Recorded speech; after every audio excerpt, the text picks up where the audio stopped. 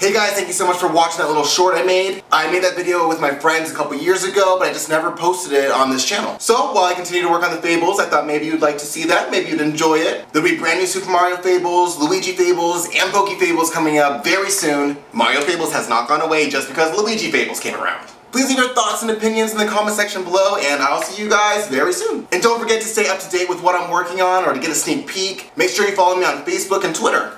Alrighty, peace! It looks like you actually have a knife stabbed in your head. Oh, well, I do. Yeah, but I was just kidding. I was trying to fool you for April Fool's Day. Toad, if you wanted to fool me, you're supposed to pretend to have a knife stabbed in your head, not actually put a knife in your head. Oh, oops. Well, I guess maybe that's why I've been feeling more lightheaded than usual and hallucinating skinless unicorns. Ow. Owie. Oh, well, this isn't very comfortable. This is not where I like to get penetrated.